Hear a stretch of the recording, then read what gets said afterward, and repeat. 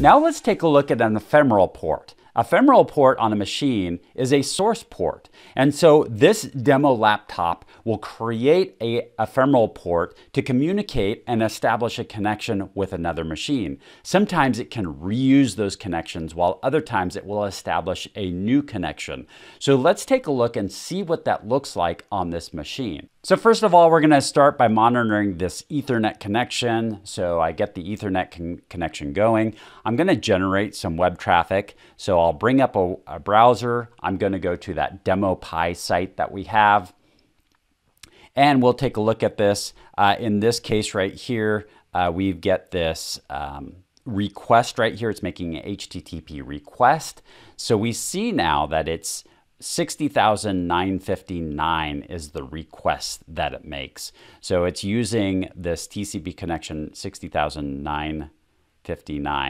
So now what I'm going to do is I, will open up a second source, uh, or excuse me, a, sec a second tab on here. I'm going to go to the same site, but in this case right here, I'm going to go index2.html uh, this is a, another um, web page that we had created. So I'm going to go to that. It generates some more traffic. Uh, so 60,959. Let's see what the new request is going to. So here's the, the request I just made, 60,960. So it is a, it's another uh, port that it's using with it. Um, and so that, that is a different port, although I believe if we look back here, it was established way back here. So 60,960. So essentially it already made this connection and it's just reusing this connection.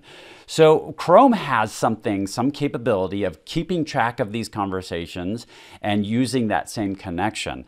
But let's now let's take a look and see what happens if we bring up a new browser. So I'm going to bring up Edge in this case right here. And we're going to go to the same website here and generate some traffic there. And we'll see if it, what it compares to. So this is uh, this is uh, 60,959, 60,960. We just went to a new page here using Edge. So let's find that. Here's the HTTP. Here's the request for that and we see that it's 61,011. So it, is a different port. So it's keeping track, it's a different ephemeral port and keeping track of this conversation on a different port in this case. So uh, Chrome is using essentially the same port that it had already established versus uh, when we bring up another browser now, it's making a new connection and establishing a different TCP connection for that communication. So we see that there is some capability of keeping track of these conversations on a on a uh, application level, um, but it, between applications, then perhaps we need to establish a new TCP connection to get that information. So that is ephemeral ports. Uh, you can see these ephemeral ports uh, that happen on the, uh, that are being randomly created on the demo laptop or our source machine that's actually making the request.